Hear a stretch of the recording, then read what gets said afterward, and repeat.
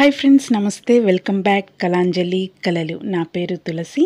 ఈరోజు మన వీడియోలో ఇంట్లోనే ఈజీగా పన్నీర్ని ఎలా తయారు చేసుకోవాలో చూపించబోతున్నానండి. సేమ్ మనం మార్కెట్ నుంచి తెచ్చుకున్నట్టే ఉంటుందండి పన్నీరు. చాలా ఈజీగా హోమ్ మేడ్ పన్నీర్ని తయారు చేసుకోవచ్చు. స్టవ్ వెలిగించుకొని ఒక గిన్నెను పెట్టుకుని అందులోకి ముక్కాలు లీటర్ వరకు పాలను తీసుకున్నానండి. ఈ పాలను కాగబెట్టడం కొద్దిగా లేట్ అయిందండి. అందువల్ల పాలు విరగడం స్టార్ట్ అయింది పాలు విరిగిపోయాయి కదా పారేద్దామని అనుకోవద్దండి. ఈ విరిగిన పాలతోనే పన్నీర్ని ఈజీగా ప్రిపేర్ చేయొచ్చండి. పాలు విరగకుండా మామూలుగా పొంగు వస్తే అప్పుడు మనం ఏం చేయాలంటే పొంగు వచ్చిన తర్వాత నిమ్మరసంను టూ టేబుల్ స్పూన్లు యాడ్ చేసామంటే పాలు విరగడం స్టార్ట్ అవుతాయండి. ఇక్కడైతే నేనేమి నిమ్మరసం ఏమి యూజ్ చేయలేదండి. ఆటోమేటిక్గా పాలు నేను కాచడం లేట్ అయ్యేసరికి పాలు విరిగిపోయాయి. చూడండి పాలు బాగా విరిగిపోయాయి కదండి. ఇప్పుడు మంటను మీడియం టు లోలో అడ్జస్ట్ చేసుకుంటూ కొద్దిసేపు బాగా మరిగించాలండి. ఇలా మరిగించడం వలన నీరు సపరేట్ అయ్యి పాలు పూర్తిగా విరిగిపోతాయి.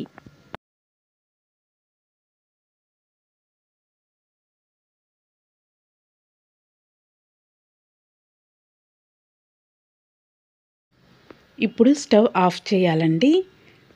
ఇప్పుడు ఇందులో నుంచి వాటర్ని ఫిల్టర్ చేయాలండి.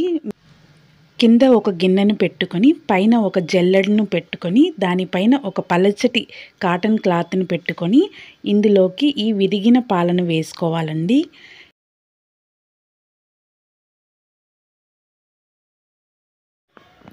వాటర్ అంతా వడగట్టిన తర్వాత ఇప్పుడు దీనిలో ఎక్స్ట్రా వాటర్ ఏమైనా ఉంటే ఈ విధంగా వీడియోలో చూపిస్తున్న విధంగా ప్రెస్ చేస్తూ చేయాలండి. గట్టిగా ప్రెస్ చేస్తూ క్లాత్ని ఇలా తిప్పుతూ చేయాలండి. ఎక్స్ట్రా వాటర్ ఏమన్నా ఉంటే బయటకు వచ్చేస్తుందండి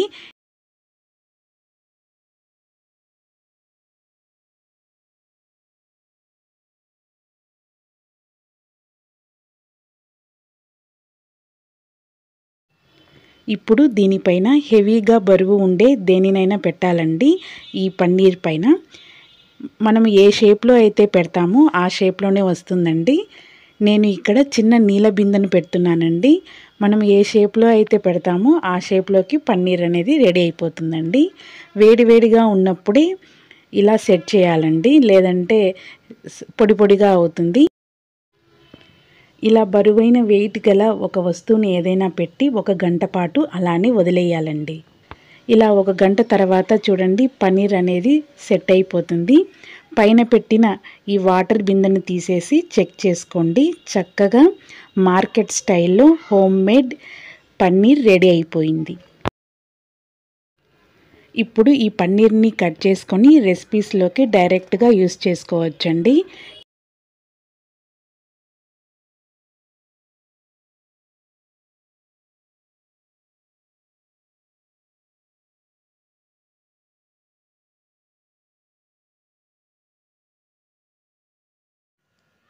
ఈ పన్నీర్ని స్టోర్ చేసుకోవడానికి వీడియోలో చూపిస్తున్న విధంగా జిప్ కవర్ని తీసుకొని స్టోర్ చేసుకోవచ్చండి. ఫ్రిడ్జ్లో పెట్టుకొని స్టోర్ చేసుకోవాలండి. ఫోర్ ఫైవ్ డేస్ వరకు ఫ్రెష్గా ఉంటుంది. ఎప్పుడు కావాలంటే అప్పుడు మనం చేసుకోవచ్చండి. అచ్చం మార్కెట్లో దొరికి పన్నీర్ లాగే ఉంటుందండి. ఇలా ఈజీగా హోమ్ మేడ్ పన్నీర్ని తయారు చేసుకోవచ్చు. మీకు ఈ పన్నీర్ రెసిపీ నచ్చినట్లయితే ట్రై చేసి మీ ఫీడ్బ్యాక్ని కామెంట్ రూపంలో పెట్టండి. ప్లీజ్ లైక్ చేయండి షేర్ చేయండి. మోర్ వీడియోస్ కోసం చూస్తూనే ఉండండి. Kalanjali Kalalu. Thanks for watching.